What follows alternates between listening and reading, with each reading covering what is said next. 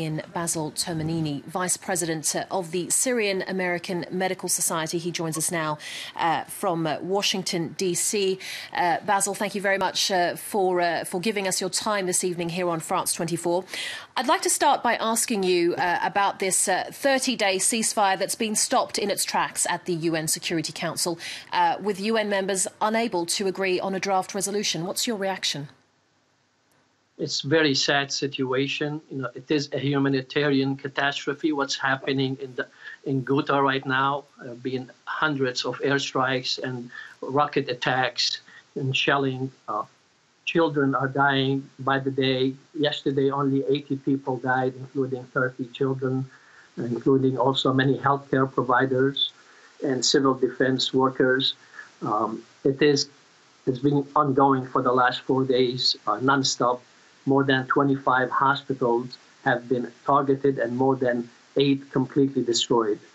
Um, we need uh, immediate cessation of hostilities, specifically airstrikes and barrel bombs, to give the civilians an opportunity to uh, breathe again, recuperate, and go ahead.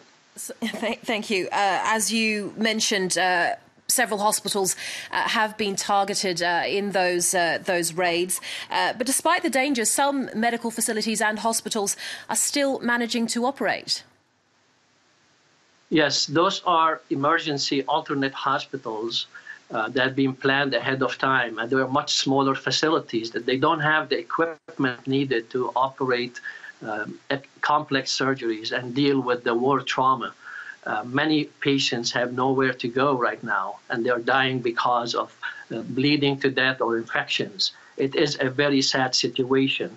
As you know, uh, Ghouta has been under siege for more than four years, and the siege has tightened for the last six months.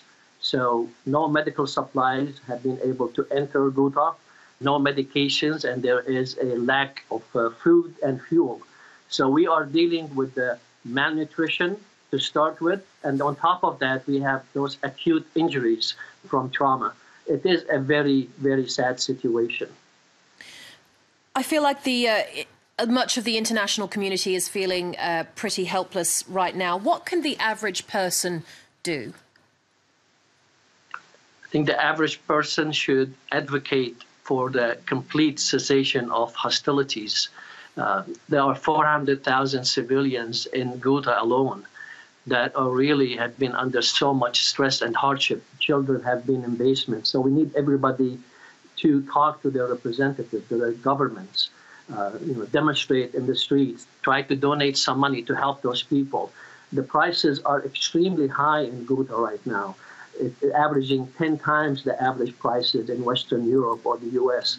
To have like a, a one liter of fuel is like $10. And people are extremely poor to start with. So we're trying to get them some help. Um, you know, they have some food that is smuggled through the regime uh, besiegement, but it's extremely expensive.